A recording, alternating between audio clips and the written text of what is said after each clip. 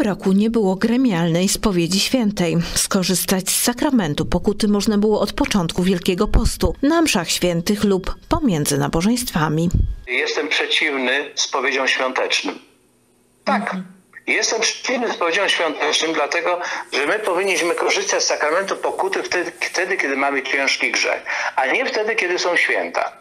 I skutkiem tego w przeszłych czasach, latach było tak, że przed świętami kolejki, które wylewały się aż, aż przed kościół, bo się ludzie nie mieścili w kościele. No i my, biedni księża, yy, zachowywaliśmy się jak te przysłowiowe dzięcioły, pukając lewo, w prawo, nie rozumiejąc nawet nieraz co kto mówi, bo już przychodziło zmęczenie.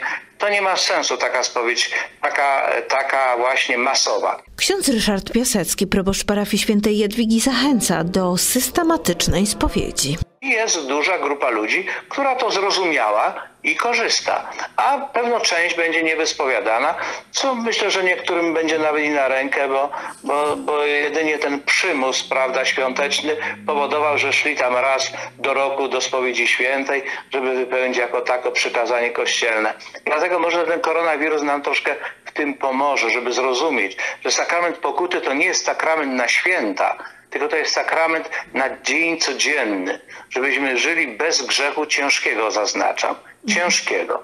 I korzystali ze spowiedzi wtedy, kiedy jesteśmy obciążeni tym grzechem, a nie wtedy, kiedy zaczynają być dzwony wielkanocne. Sakrament pokuty i pojednania to chrześcijański obrzęd oczyszczenia z grzechów. Jest uznawany za drugi po chrzcie sakramentalny znak, który ukazuje i zarazem urzeczywistnia pokutę i pojednanie.